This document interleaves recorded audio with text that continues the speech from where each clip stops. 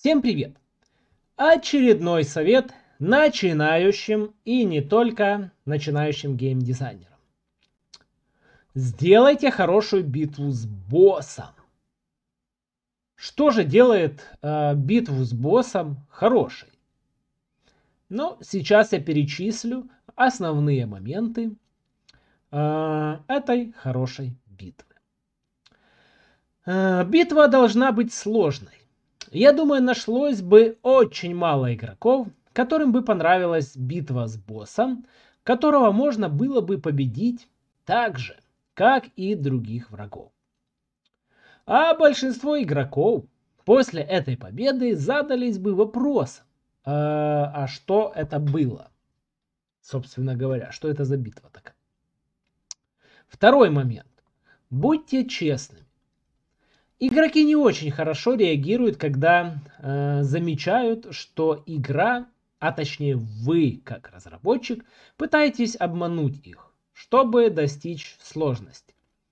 Э, сделайте поведение вашего босса сложным, но в то же время несколько предсказуемым.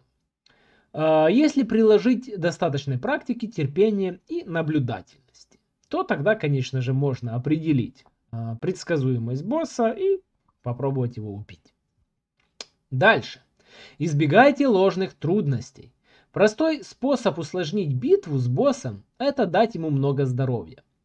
В то же время босс должен быть устойчивым к атакам игрока. Но это не должно быть главным фактором сложности. Если это так, то битва становится однообразной и скучной. Следующий момент. Э, попробуйте напугать игрока. В серии игр Dark Souls это сделано хорошо. В их боях с боссами всегда уделяется первоочередное внимание новым способом запугать игроков. Этого можно достичь с помощью эпической музыки, э, размера босса или чего-то еще, что может помочь э, создать ощущение опасности. Следующий момент. Проверьте навыки игрока. Бой с боссом можно рассматривать как экзамен, проверяющий знания игроком всех э, игровых механик, представленных в игре до этого боя. Сделайте так, чтобы босс заставил игрока использовать все навыки, доступные э, на данный момент. Следующий момент. Э, постарайтесь сделать битву частью истории. Э, сделайте так, чтобы битва с боссом хорошо вписывалась в сюжет вашей игры. Игрок должен знать, почему он сражается с боссом. Э, сделайте это личным. В конце концов, победа будет не такой приятной, если встреча с боссом была совершенно случайной и неожиданной. Э, например, в Last of Us в битве Элли с Дэвидом предшествует множество сюжетных элементов, которые делают бой поистине эмоциональным. Вы ничего не можете поделать, но хотите причинить Дэвиду э, как можно больше боли.